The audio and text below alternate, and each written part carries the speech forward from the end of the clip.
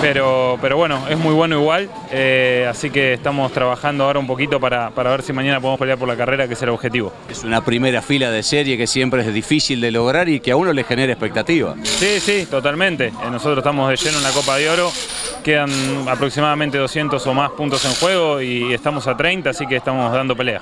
¿Esta es de las curvas 1 donde uno puede intentar largando por fuera? Sí, creo que sí. A ver, eh, creo que sí. Eh, hay que ver muy bien cómo se da la largada, si mueve mejor el de adentro, el de afuera o lo que sea, pero, pero lo vamos a intentar. Venimos a correr, venimos a pelear por carreras, por campeonato y para eso estamos. Y con optimismo por el rendimiento que el auto me parece mostró todo el sábado, ¿no? Sí, sí, totalmente. Tenemos un muy buen auto, un muy buen equilibrio. Me hubiese gustado que esté un poquito más equilibrado a la hora de clasificar. No sé si fue algo de pista, algo de mi auto o qué, pero, pero tenemos una gran herramienta para pelear mañana. ¿Qué pequeño vicio notaste?